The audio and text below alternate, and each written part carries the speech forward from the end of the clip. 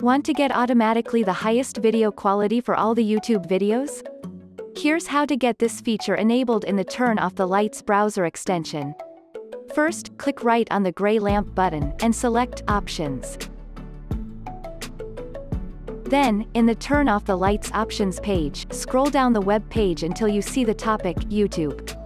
Finally, enable the Auto HD checkbox and choose the High Res to get automatically the highest video quality that is available for that YouTube video.